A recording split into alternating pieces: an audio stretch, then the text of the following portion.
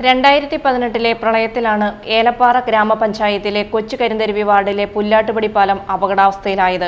തുടർന്ന് രണ്ടായിരത്തി ഇരുപതിൽ പാലൊഴുക്കുംപാറ മുതൽ പുല്ലാട്ടുപടി പാലം വരെയുള്ള പുഴയുടെ ഇരുവശങ്ങളിലും ചെറുതും വലുതുമായ ഉരുൾപൊട്ടലുകളിലുണ്ടായ വെള്ളപ്പാച്ചിലിൽ പാലത്തിന്റെ ഒരു വശത്തെ മണ്ണ് ഒലിച്ചുപോയത് മൂലം പാലം പൂർണമായും തകർന്നു.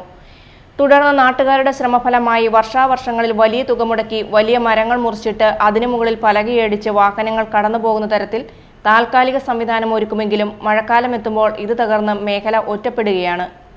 ഏകദേശം ഇരുന്നൂറ്റി അൻപതോളം കുടുംബങ്ങളുടെ യാത്രാമാർഗമാണ് തടസ്സപ്പെട്ടിരിക്കുന്നത്.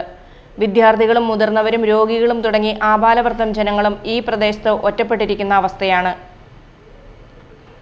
രോഗികളെ എടുത്തുകൊണ്ട് പാലത്തിനിക്കരെ എത്തിച്ചു വേണം വാഹനത്തിൽ കയറ്റി ആശുപത്രിയിൽ എത്തിക്കാൻ പ്രദേശത്തെ ജനങ്ങളുടെ ദുരവസ്ഥയ്ക്ക് പരിഹാരം കാണണമെന്നാവശ്യപ്പെട്ട് ത്രിതല പഞ്ചായത്ത് അംഗങ്ങളെയും എം എൽ എയും എം പിയെയും സമീപിച്ചുവെങ്കിലും യാതൊരു നടപടിയും ആകുന്നില്ല എന്നും ഇവർ പറയുന്നു.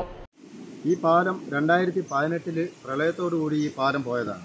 ഈ പാലം പോയിട്ട് അഞ്ച് വർഷക്കാലം പിന്നിടുന്നു.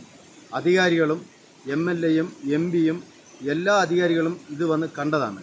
കണ്ടിട്ടും ഒരു നടപടികളും ഈ പാലത്തിന് വേണ്ടി ഉണ്ടായിട്ടില്ല. ഈ കഴിഞ്ഞ വർഷം എം എൽ എ ഫണ്ട് വന്നിട്ട് മുപ്പത്തെട്ട് ലക്ഷം രൂപ ഇതിന് അനുവദിച്ചതാണ്. എന്നിട്ടും ഈ പാലം പൂർത്തീകരിക്കാൻ കഴിഞ്ഞിട്ടില്ല. ഓരോ വർഷക്കാലവും ഈ നാട്ടിലുള്ള ഞങ്ങളെപ്പോലെ എല്ലാവരും ചേർന്നാണ് ഈ പാലം പണിതുകൊണ്ടിരിക്കുന്നത്. ഈ വർഷവും ഇന്നലെയും ഞങ്ങൾ ഈ കൈവരിയായിട്ട് ഉള്ള പാലം ഞങ്ങൾ പണിതിരിക്കുക. നടന്ന് അക്കരെ ചെല്ലാൻ വേണ്ടിയിട്ട്. ഈ വർഷം തോറും ഞങ്ങൾ പണിയുന്നത്. ഇവിടെ താമസിക്കുന്ന ഓരോ കുടുംബങ്ങളും ഇപ്പം മാറി താമസിക്കാൻ വാടകയ്ക്ക് വേണ്ടി ഓരോ പ്രദേശത്തുമായിട്ട് പോയിരിക്കുകയാണ്. ഇവിടെ ആളെണ്ണം കുറഞ്ഞുകൊണ്ടിരിക്കുകയാണ്. കാരണം ഇപ്പം ഞങ്ങളെ കൂട്ടുള്ളവർക്ക് ഞങ്ങൾക്ക് മാറി താമസിക്കാൻ ഒരു നിവൃത്തി ഇല്ലാത്തതിന്റെ പേരിലാണ് ഞങ്ങൾ ഇവിടെ ഡെയിലി പോയി വന്നുകൊണ്ടിരിക്കുന്നത്. ഞങ്ങൾക്ക് എത്രയും പെട്ടെന്ന് ഇതിനൊരു തീരുമാനം ഉണ്ടാകണം. അതിനിടെ പീരുമേട് എം എൽ എ പാലം പുനർനിർമ്മിക്കാൻ മുപ്പത്തിയെട്ട് ലക്ഷം രൂപ അനുവദിച്ചെന്ന് പറഞ്ഞെങ്കിലും തുടർ നടപടികൾ വൈകുകയാണ് എന്ന് നാട്ടുകാർ പറയുന്നു. ചെറുകിട കർഷകരും തോട്ടം തൊഴിലാളികളും ഉൾപ്പെടെയാണ് ഇവിടെ അധിവസിക്കുന്നത്.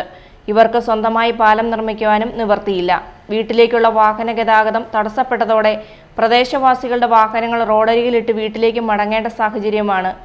ഈ അവസരത്തിൽ വാഹനങ്ങളിലെ ബാറ്ററികളടക്കം മോഷ്ടാക്കൾ അപഹരിക്കുന്നതും പതിവാണ്. നിലവിൽ പ്രദേശവാസികൾ ചേർന്ന് താൽക്കാലികമായി നിർമ്മിച്ച തടിപ്പാലം മാത്രമാണ് സഞ്ചാരത്തിന് ഏക ആശ്രയം. News bureau Elappara.